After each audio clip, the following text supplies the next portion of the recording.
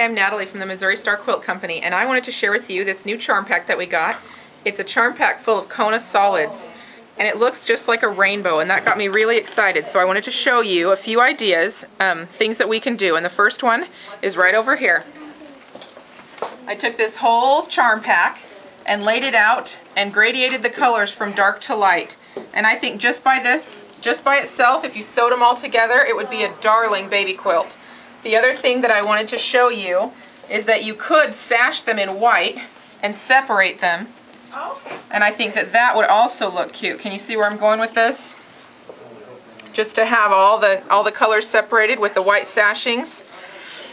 So um, I'll be back with a few other ideas for this Kona Solids charm pack, but I think that this is a really fun thing to get started with ideas. So have a good day.